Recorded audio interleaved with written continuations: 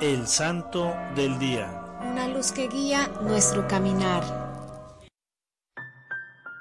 Hoy 21 de febrero conmemoramos a San Pedro Damián. Nació en Ravenna, Italia en el año 1007. Quedó huérfano muy pequeño y un hermano suyo lo humilló terriblemente y lo dedicó a cuidar cerdos. Lo trataba como al más vil de los esclavos. Pero de pronto un sacerdote, el padre Damián, se compadeció de él y se lo llevó a la ciudad. Le costeó los estudios. En honor a su protector, en adelante nuestro santo se llamó siempre Pedro Damián. El antiguo cuidador de cerdos resultó tener una inteligencia privilegiada y obtuvo las mejores calificaciones en los estudios. A los 25 años ya era un profesor de universidad, pero no se sentía satisfecho de vivir en un ambiente tan mundano y corrupto, así que dispuso hacerse religioso. Estaba meditando cómo entrar a un convento cuando recibió la visita de dos monjes benedictinos de la comunidad fundada por el austero San Romualdo y al oírles narrarlo seriamente que en su convento se vivía la vida religiosa, se fue con ellos. Muy pronto resultó ser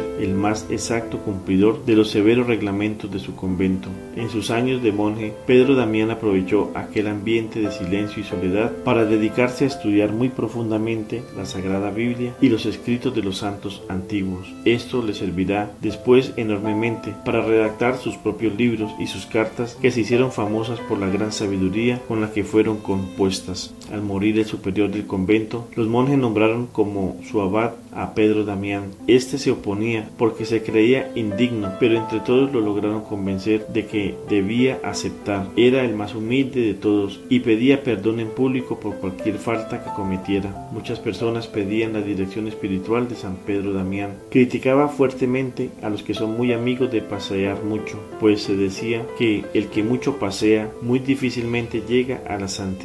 La gente también decía, el padre Damián es fuerte en el hablar, pero es santo en el obrar y eso hace que le hagamos caso con gusto a su llamada de atención. Lo que más le agradaba era retirarse en soledad a rezar y a meditar y sentía una santa envidia por los religiosos que tienen todo su tiempo para dedicarse a la oración y a la meditación. Otra labor que le agradaba mucho era la de ayudar a los pobres. Todo el dinero que le llegaba lo repartía entre la gente más necesitada. Era mortificado en el comer y dormir, pero sumamente generoso en repartir limón y ayudas a cuantos más podía. El sumo pontífice lo envió a Ravenna a tratar de lograr que esa ciudad hiciera las paces con el Papa. Lo consiguió y al volver de su importante misión, al llegar al convento, sintió una gran fiebre y murió santamente. Era el día 21 de febrero del año 1072. Inmediatamente la gente empezó a considerarlo como un gran santo y a conseguir favores de Dios por su intercesión. El Papa León XII lo canonizó en el año 1823 y por sus elocuentes sermones que compuso y por los libros tan sabios que escribió, lo declaró doctor de la Iglesia en el año 1828.